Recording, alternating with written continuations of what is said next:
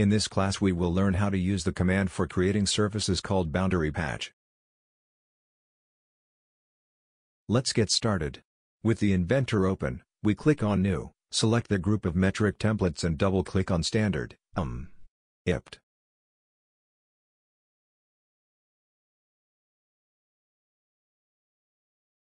OK, we are in the environment of creating surface models, where we will create this profile by applying the Boundary Patch tool. Which generates a surface from a closed 2D or 3D sketch.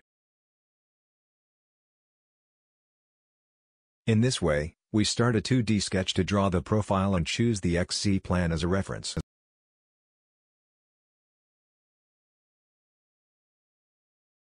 Let's create the base of the profile, which is a circumference 20 mm in diameter.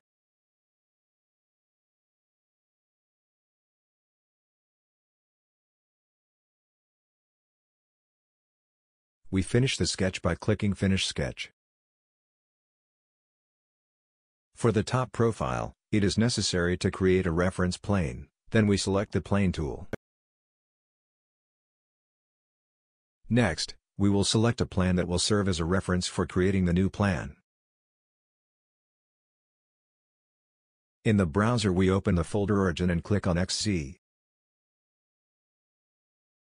We bring the mouse closer to the plane being created, left-click and drag up.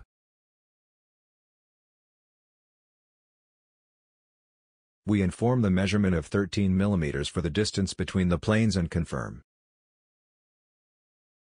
In the created plan, we start a 2D sketch. To maintain centering, we will design the circumference outlined earlier, bringing its center to this sketch.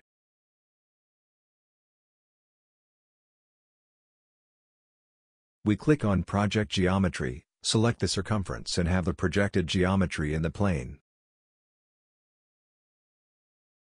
We draw a circumference 8 mm in diameter.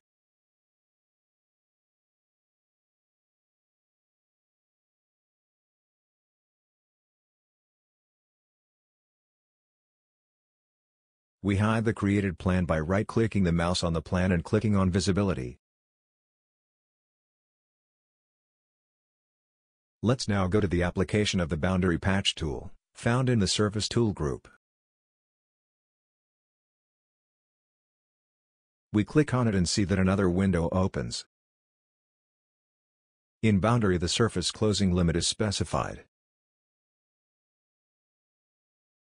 Under Condition the names and conditions of the selected edges are specified.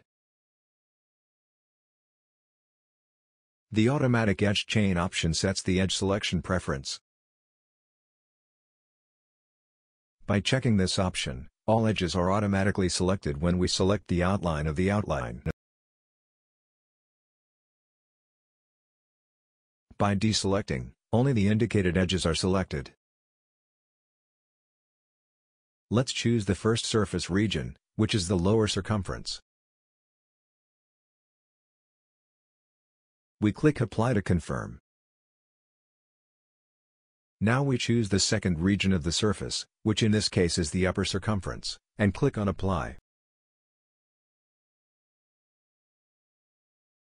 Let's close the template, selecting the two surfaces created.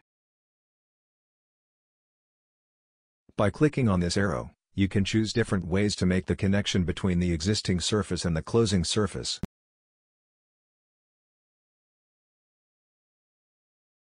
Choosing G0 we will have only the application of contact between the surfaces.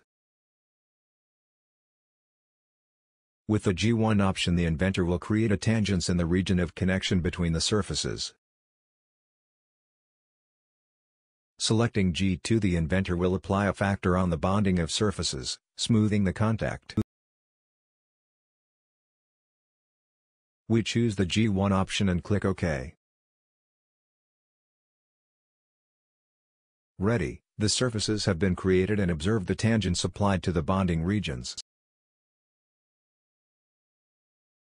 Save this file as we will use it in the course sequence.